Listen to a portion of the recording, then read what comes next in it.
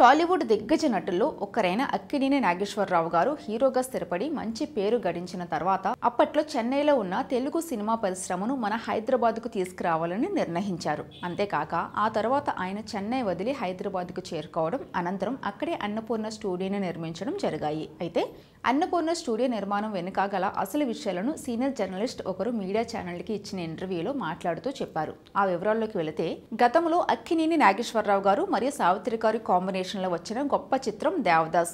Cinema గురించి తెలియని తెలుగు వాళ్ళు ఉండరు అయితే నాగేశ్వరరావు గారు పూర్తిగా హైదరాబాద్ షిఫ్ట్ అయిన సమయంలో ఆ సినిమా నిర్మాత తమ సినిమా హక్కులను వేరొకరికి అమ్ముదాం అని నిర్ణయించి పలువురు సినిమా వారిని సంప్రదించారట. అయితే చివరికి నాగేశ్వరరావు గారే ఆ సినిమా హక్కులను కొనుగోలు చేయడం జరిగిందట.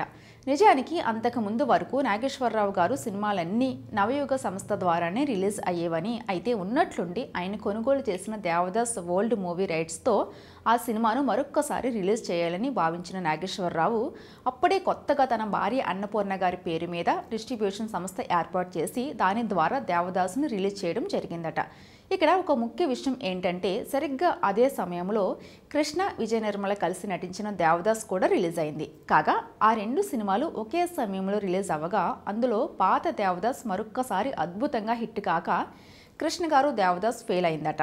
అయితే కృష్ణ దేవదాస్ సినిమా మాత్రం నవయుగ సంస్థ ద్వారా రిలీజ్ అయిందట. అయితే నాగేశ్వరరావు గారు తన సొంత సంస్థ ద్వారా పాత దేవదాసును రిలీజ్ చేయడంతో నవయుగ ఫిలిమ్స్ వారికి చెందిన హైదరాబాద్లోని సారథి స్టూడియోలో ఇక పై నాగేశ్వరరావు గారి సినిమాలు చిత్రీకరించడానికి వీల్లేదని నిర్ణయించారట. దాంతో అప్పటి నుండి నాగేశ్వరరావు గారి సినిమాలు హైదరాబాద్లో తీయడానికి వీలు లేకుండా పోయిందని. అందువల్ల అప్పట్లో బెంగళూరు మరియు ఊటీలలో ఆయన సినిమాలు చిత్రీకరించేవారని చెప్పుకొచ్చారు. ఇక అటువంటి పరిస్థితుల్లో ఇకపై హైదరాబాద్లో తనకు కూడా ఒక స్టూడియో ఉండాలని గట్టి పట్టుదలతో నాగేశ్వరరావు గారు తన భార్య అన్నపూర్ణ పేరు మీద స్టూడియోకి శంకుస్థాపన చేసి కొద్ది నెలల్లో దాని నిర్మాణం పూర్తి చేసి అక్కడి నుండి తన సినిమాలను అందులోనే చిత్రీకరించడం మొదలుపెట్టారట. అయితే ఇక్కడ ఓ గమ్మత్తైన విషయం ఏంటంటే కృష్ణ గారి దేవదాస్ సినిమా ఒక రకంగా ఇండైరెక్ట్గా నాగేశ్వరరావు గారి అన్నపూర్ణ స్టూడియోస్ నిర్మాణానికి కారణమైందని ఆయన చెప్పుకొచ్చారు. ఈ వీడియో మీద మీ ఒపీనియన్ తెలియచండి అలాగే ఈ వీడియో మీకు నచ్చితే లైక్ చేయండి షేర్ చేయండి. ఇలాంటి మరిన్ని వీడియోస్ కోసం మా ఛానల్ని సబ్స్క్రైబ్ చేసుకోండి.